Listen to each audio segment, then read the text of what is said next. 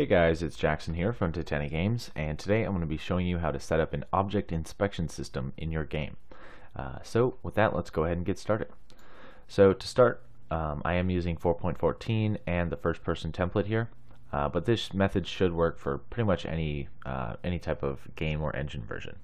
Alright, so the first thing we're going to do is we're going to go to Edit, Project Settings, and go to Input, because we're going to add our own action mapping for our inspection button. So just click that little plus, go here, we'll type inspection, all right, and we'll change this to you know whatever key you want to use for inspecting. So we'll use the E key here. Um, if you're using like gamepads, uh, maybe you'd want to use the gamepad. Um, I don't know, face button top maybe because I think it's already the bottom one's already yeah the bottom one's already being used by jump so I don't know we'll just use the top one Okay, so with that done, we're going to go find our uh, first person character and we're going to edit him, open him up. Alright, so haven't done anything here yet.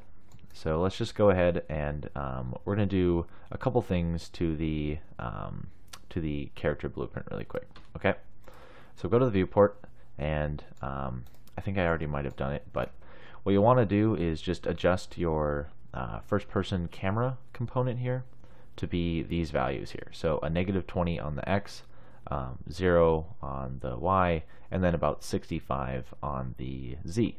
Now this is just what I have my project you know set to for now. Um, you they're just like I just made them these values because they're easy to work with. Um, versus before I think they were like a bunch of random uh, kind of decimal point values. So I just like to work with nice values. So once you've done that, um, Next, what we'll do is we're going to add a new component. So we'll add a scene component. We are going to call this inspection location. Okay, and of course I spelled it wrong, so let me spell it correctly. Inspection, there we go.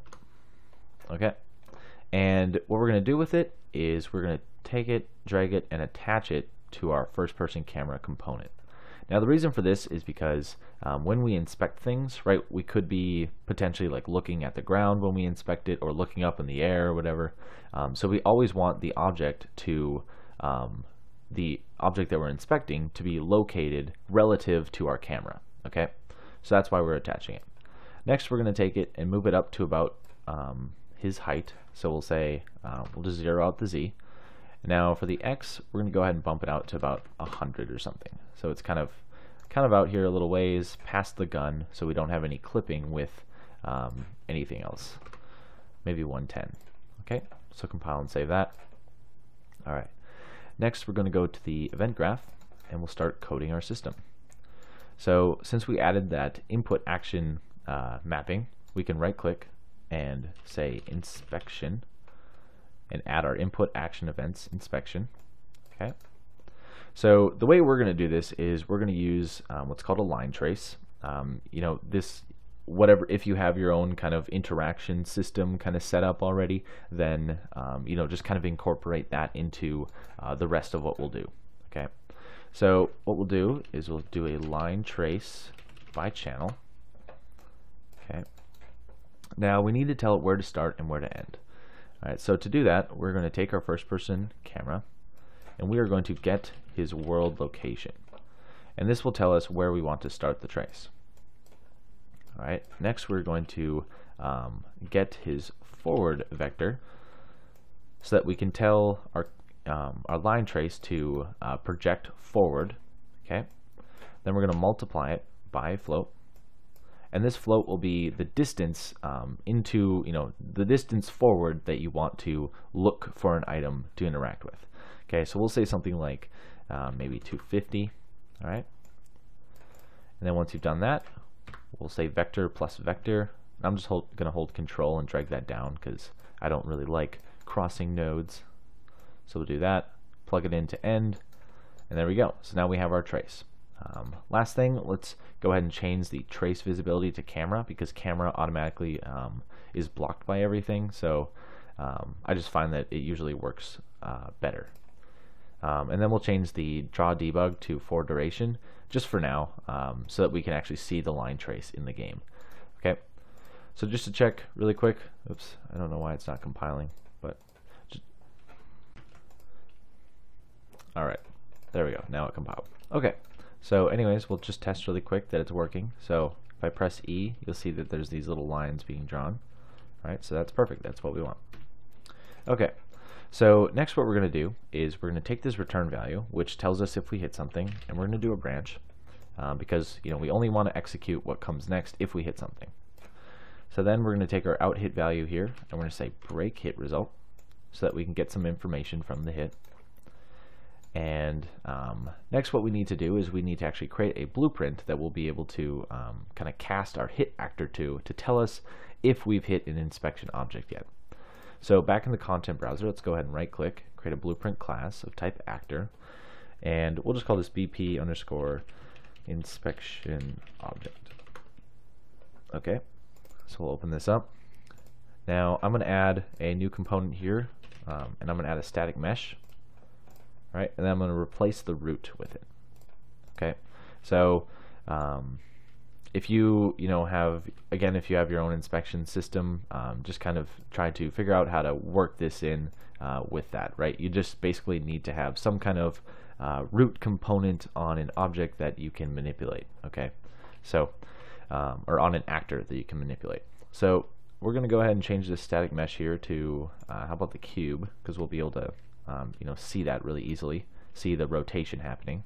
Um, so let's go ahead and scale it down actually to about 0.2, um, just so that it's just so that it's not you know so big and up in our face. Okay, so now we have our inspection object. Let's go back to our first person character. And we're going to take this hit actor and we are going to cast to uh, our BP inspection object. Alright, perfect. So now if this succeeds, we're going to promote this to a variable. We're going to call this inspection object. Alright. File and save that. Perfect. And then um, what we want to do is we want to get some information from him. So we'll say get actor location and we'll say get actor uh, rotation. Now if you wanted you could like get his transform and then only get these two values um, for what we're going to do next but this is just how I like to do it. Um, so any, anyways what we'll do next is we'll take these return values and we'll promote them to a variable. We'll call this inspection object location. Okay, hook that up. Do the same thing here inspection object rotation. Hook this up. All right, perfect. All right, so now we have the object stored as a reference so that we can you know access it later we also have its two kind of starting points which we will be able to use to kind of reset um, the object's position and rotation once we are um, done inspecting okay so what we'll do next then is um, we're going to create a boolean, and probably should have done this first, but it doesn't matter. Um, we'll create a boolean that we'll call is inspecting. Okay, and is inspecting, perfect. And we'll go ahead and take this and set it. And we'll set it to true. Uh, because if we've hit this object, then you know we know that um, we want to start inspecting. Okay. So now back here to the beginning, we need to do a quick little branch here um, to check if we're already inspecting. Because if we are inspecting, okay, and sorry, I'm going a little quick here, sorry. So I just take the variable here, drag it out and say get, and plug it into the branch, okay. Um, so basically, if we are inspecting, um, then we don't want to be doing these line traces, right? So we only want the false, right? So as long as is inspecting is false, then we'll do the line traces. But if it's true, then later on we'll reset um, our inspection. Okay. So now next, what we're going to do is we are going to disable our character's movement so that we can't like run around while inspecting. Uh, so we'll take character movement and we'll say disable movement. All right. Next, we're going to create a timeline uh, that will allow us to kind of smoothly interpolate between um, the between the object's position and our inspection location. Okay, so we'll go ahead and say add timeline right there. We'll just call this object, um, I don't know, whatever. I'll just call it object. I don't even care. Um, so next we'll take uh, this disable movement here, plug it into play. All right. And then let's go ahead and open up our timeline here. So we're going to change the length to about a value of 1. Um, so, you know, this timeline, its interpolation will take about one second. And we'll add a float track for it. And um, we'll call this track alpha. All right. So next, if you hold shift and click, you'll add a key. Okay, and we're going to take that key and set its time to 0 and leave its value at 0. And then we'll go to the end, shift click, change its time to 1, and its value to 1. Okay, then if you click these little buttons here, you can frame up on it. And now you can leave the interpolation as uh, linear, but I'm going to change it to um, auto. So if you just click each one of these keys, you know, by shift clicking and then right click, you can select auto and it will create this kind of smooth curve line. Um, so that will make the interpolation a little a little more nice or a little nicer. Um, all right.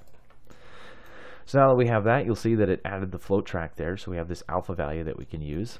So what we're going to do with it is we're going to do two uh, linear interpolations. Okay, so we'll drag out and we'll type lerp, and we're going to do a lerp vector.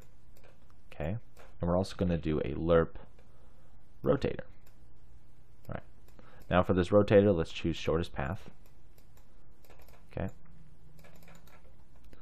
And now for um, now we just need to define the A and B for both of these. Now the A for our lerp, lerp vector is going to be you know the starting point um, that we saved. So we'll take our inspection object location, we'll plug that in, okay, and then we'll do the same down here for this A. We'll take our object inspection rotation, plug that in. Uh, but now we need to define the B's, right? So where where we want it to move to.